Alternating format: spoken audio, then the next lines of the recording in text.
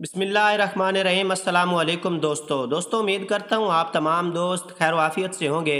और आज की इस वीडियो में हम कपास के ताज़ा तरीन रेट के बारे में बात करेंगे कि पंजाब साइड पर ख़ास तौर पर ज़िला बिहाड़ी कपास मंडी और यजमान मंडी कपास मंडी में आज के कपास के क्या रेट हैं।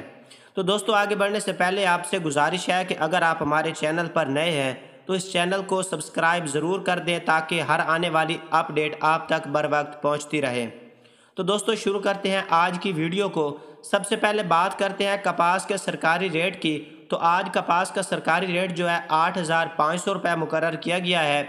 जबकि आज बिहाड़ी मंडी में बात करें तो कपास चालीस किलो एक मन का कम से कम रेट आठ हज़ार सत्ताईस रुपये जबकि ज़्यादा से ज़्यादा रेट नौ हज़ार दो सौ नवासी रुपये मुकर किया गया है। जबकि एवरेज रेट की बात करें तो एवरेज कपास का रेट जो है, वो आठ हज़ार छः सौ तिरपन रुपये बिहाड़ी मंडी का है। जबकि यजमान मंडी की बात करें तो यजमान मंडी में एक मन कपास का रेट जो कम से कम आठ हज़ार तीन सौ सत्ताईस रुपये है, जबकि ज़्यादा से ज़्यादा रेट की बात करें तो नौ हज़ार एक सौ सत्ताईस रुपये है।